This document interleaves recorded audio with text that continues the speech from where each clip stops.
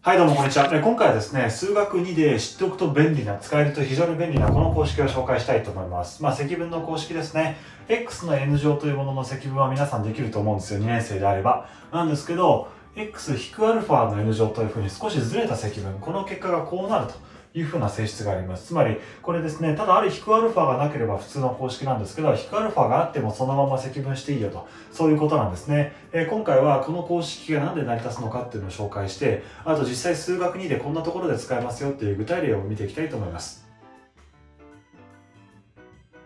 さて、じゃあまずはこの公式の証明からいきましょう。まあこれを積分するとこうなるということの証明は逆にこれを微分するとこうなるよってことを言えばいいというふうにしましょう。まあつまりこの項ですね、これを x で微分したらこうなってほしいわけですね。今まあ積分定数っていうのは全然大した問題じゃないので今一回置いときます。はい、えー、二項定理を使ってですね、この x-α の n たす1乗っていうのを展開するとこんな感じになります。少し複雑ですけどね、二項係数と x とマイナス α のまあ、それぞれのべき乗が出てくると、そういう感じですね。これを x で微分するというふうに考えます。で、ここで、その j というのは0から n たす1まで動くんですが、j が0の時と、0より大きい時の2つに分けちゃいたいと思います。はい、えー、こんな感じですね。今、この左が j イコール0。で、こっちが j が1から n たす1の項です。この j が0のところというのは全体でこれ x の0乗なので定数になっていますよね、括弧の中が。で、それを x で微分するわけなんで、結局微分した結果0になります。こっちはもちろん0にはならないです。x の指数が1以上になっているので。まあ、なので、どうせ0になるところだけ引っ張り出してあげようということで、これだけくくり出したというわけですね。0を足す、じゃあこの中身がどうなっているのか計算を進めていきます。はい、えー、まともに微分をするとこんな感じになりますね。今これ見てみると、x の j 乗というものを x で微分したので、j×x の j-1 乗になると。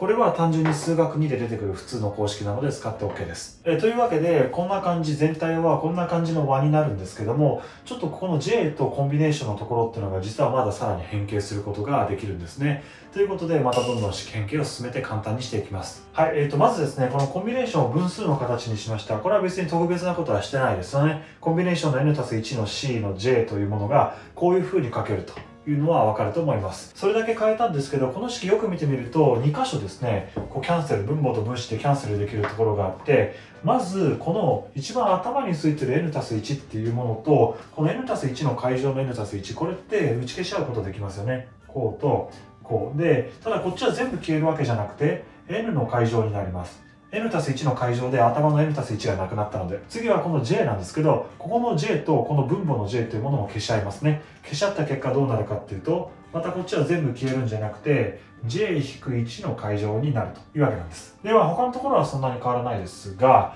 こうやって変形してみるとだいぶですね、いろんなところの、まあ、数がなくなってさっぱりしてきますよね。え引き続き計算を進めると次のようになります。はい、えということで計算を進めるとこんな感じになります。で、今この和を取る範囲が1から n たす1になっててちょっと気持ち悪いので0から n まで直したいと思います。はい、えー、こんな感じになりますね。この和を取る範囲を1個減らしたことによって、この中の j は1個増える。例えばここが j-1 だったのが、ここが j になると。いう風なところに注意してください。これ見てみると、もうなんかポイントというかね、こう、からくりが分かってきたと思います。この分数 j と n-j の階乗分の n の階乗ここってよく見てみるとコンビネーションの n の j になってますよねでそれと x の j 乗そしてマイナスアルファの n-j 乗となっているのでこれは二項定理をですね逆に使うことができて結局 x-α の N 乗というふうにわかるわけですね。はい、えー、ということで全体見返してみると、もともとはこの x-α の n たす1乗、分数のこれはついていますが、これを微分したというわけです。で、それをたくさん二項定理を使って展開して、必要に応じてうまいこと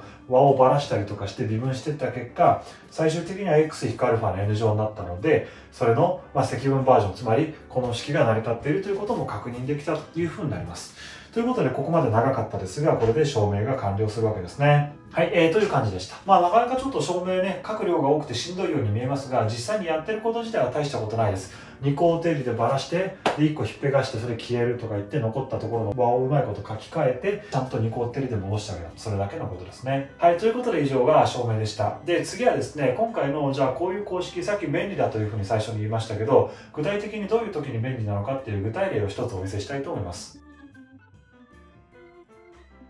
はい、えっ、ー、と、こんな感じのケースです。えっ、ー、と、y イコール x2 乗という放物線があって、x イコール α における接線を考えます。その接線と放物線と x イコール α 足す p というこの直線で囲まれるこの部分ですね。この部分の面積 s というものを積分で求めましょうというふうな問題です。まあこれまずまともにですね、求めていくとどうなるのかってことを考えるんですが、まあとりあえずこの接線の方程式を求めますよね。y イコール x2 乗っていうのは微分すると 2x になるので、この放物線じゃなくて接線の方程式は y イコールこれ求めてみると 2α の x 引く α の2乗とこういう感じになりますでそれと y イコール x2 乗で囲まれる部分を 0α から α 足す p まで積分すればいいので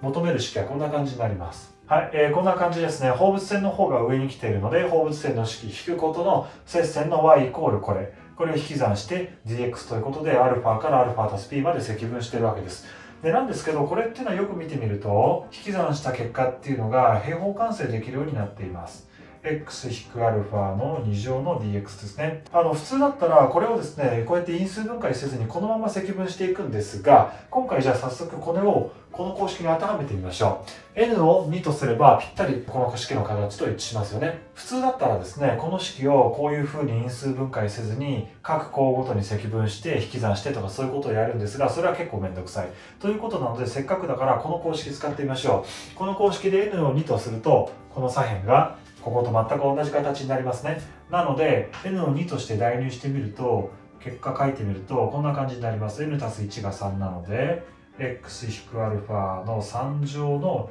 α の α たす p と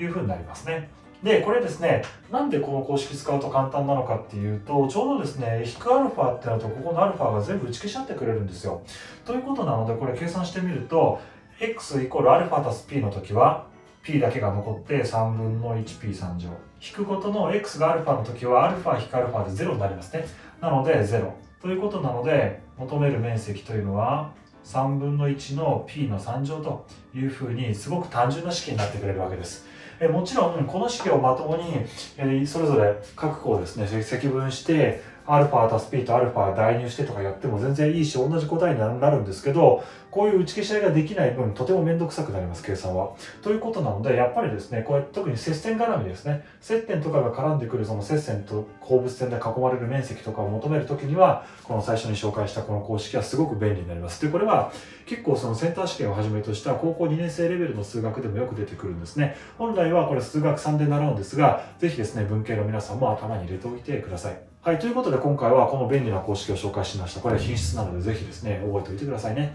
まあ、このチャンネルではですね、今回のように高校数学に関するトピックを使っていきたいと思っておりますが、他にもまあ物理に関する話題、僕も東大の物理学科の出身なんで、物理の話題も扱っていきたいと思っています。あとは、まあ、僕は中学受験、高校受験、大学受験、どれも経験してきているので、そうした受験に関するアドバイスとかもしていければと思っています。まあ、このチャンネルの動画全体通じてですね、まあ、特にその数学とか物理中心にはなりますが、え勉強って楽しいなって思ってもらえたりとか、こう志望校合格に向けて頑張るぞと思ってもらえるように頑張っていきたいと思いますので、えー、ぜひですね、今回の動画気に入ったらチャンネル登録と高評価お願いします。えー、ということで今回は以上です。ご視聴ありがとうございました。次の動画でお会いしましょう。